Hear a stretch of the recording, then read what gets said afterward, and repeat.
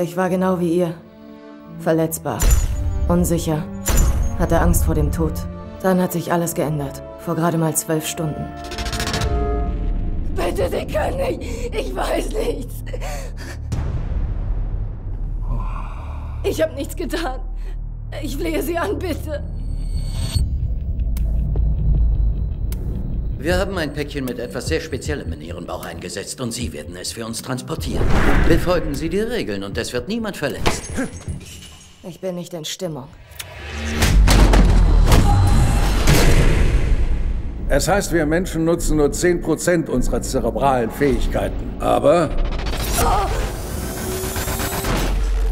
Was, wenn es einen Weg gäbe, Zugang zu 100% unseres Gehirns zu erlangen? Wozu wären wir dann fähig?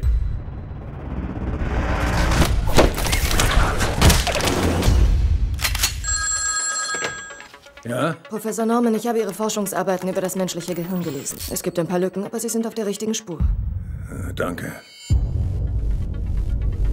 Ich bin zu Dingen fähig, die ich niemals zuvor getan habe.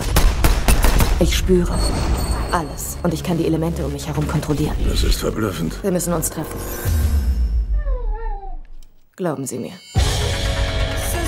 Die Chemikalie erlaubt ihr, neue Areale ihres Gehirns freizuschalten.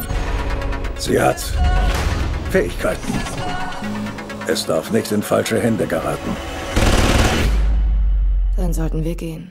Miss, keine Bewegung. Bitte nehmen Sie die Hände hoch. Ihre Gehirnkapazität wächst mit jeder Minute.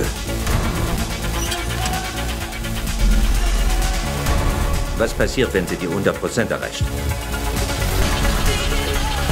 Ich habe keine Ahnung. Aber sie ist der Schlüssel. Zu allem. Ich fahre. Hey, hey, nein, das ist ein Polizeifahrzeug.